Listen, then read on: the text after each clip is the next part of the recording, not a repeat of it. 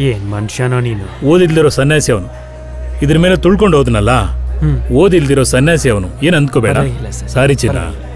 ಏನೋ ಅವನು ಸಾರಿ ಹೇಳ್ಬಿಟ್ಟು ನಮಗ್ ಬೈಯೋದು? ಅದೇ ನಮ್ಮನ್ನ ಯಾರಾದ್ರೂ ಡಿಸ್ಟರ್ಬ್ ಮಾಡಿದ್ರೆ ಅಂದ್ಕೋ. ನಾವೇನಂತೀವಿ? ಮತ್ತೆ ನಾವೇ ಡಿಸ್ಟರ್ಬ್ ಮಾಡಿ ನಾವ್ ಹೇಗ್ ಹೊಡಿತೀವೋ? ಲೇ ಅವ್ರವ್ರ ಕೆಲಸ ಅವ್ರಿಗೆ ದೇವ್ರ ಸಮ. ಬನ್ನಿ ಅಣ್ಣ ಬನ್ನಿ. ನಮಸ್ತೆ ಅಣ್ಣ. ನಮಸ್ಕಾರ. ಬನ್ನಿ ನಮಸ್ತೆ. ನಮಸ್ತೆ. ಹೇ ನೀವೆಲ್ಲ ಅಲ್ಲಿ ಕೂತ್ಕೊಳ್ಳಿ. ಏನ್ ಬೇಕಾದ್ರೂ ಆರ್ಡರ್ ಮಾಡ್ಕೊಳ್ಳಿ. ಅಣ್ಣ ನಿಮ್ ಫುಡ್ ಏನಾರು ಆರ್ಡರ್ ಮಾಡ್ಲಾ? ಆಗ್ಲಿ ತಮ್ಮ. ಏಯ್ ಎಷ್ಟೊತ್ತ? ಬರ ಬೇಗ. ಬರ್ತೇನೆ ಬಿಡು. ಎಷ್ಟೊತ್ತಾಯ್ತು ಬಂದು? ಅಣ್ಣ ತಗೊಳ್ಳಿ ನಿಮಗೆ.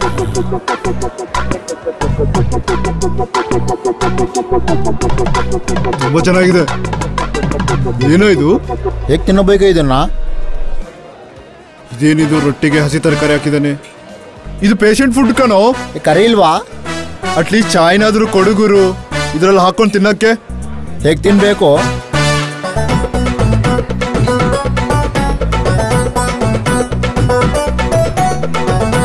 ಚೆನ್ನಾಗಿದೆ ಚೆನ್ನಾಗಿದೆ ಚೆನ್ನಾಗಿದೆ ಚೆನ್ನಾಗಿದೆ. ತಿನ್ರಿ ತಿನ್ರಿ.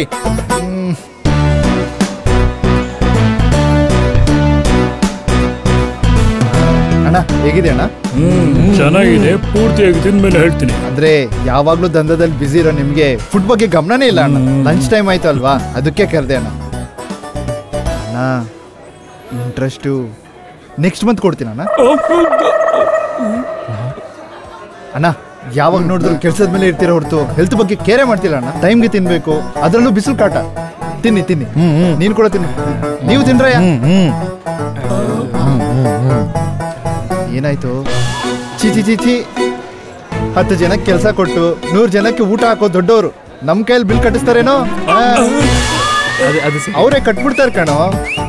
ಬರ್ತೀವಿ ಸರ್? ಬರ್ತೀವಣ್ಣ ಬಾಯ್. ಬಾಯ್ ಬಾಯ್. ನೀತೀನಿ ಮಾಡಿ ನಾ ನೆಕ್ಸ್ಟ್ ಮಂತ್ ಗ್ಯಾರಂಟಿ ಅಣ್ಣ. ಬರ್ತೀನಣ್ಣ ಏನಣ್ಣ ಲೇ ಇರೋ ಮಾತ್ರ ತಿನ್ನಿ. ಹೊಸದಾಗಿ ಆರ್ಡರ್ ಮಾಡಬೇಡಿ. ಬಿಲ್ ನಾವು ಕಟ್ಬೇಕಣ ಸರಿ ಅಣ್ಣ.